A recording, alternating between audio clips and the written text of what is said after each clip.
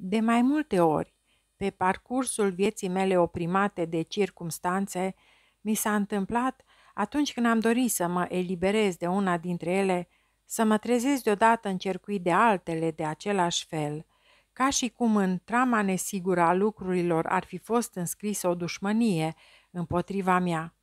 Îmi smulg de la gât o mână ce mă sufocă și îmi dau seama atunci că tocmai mâna mea, cea care smulgea de la gât mâna ce mă sufoca, îmi aruncase deja un laț în jurul gâtului, cu același gest cu care mă elibera. Înlătur prudent coarda și aproape că mă strâng de gât cu propriile mele mâini.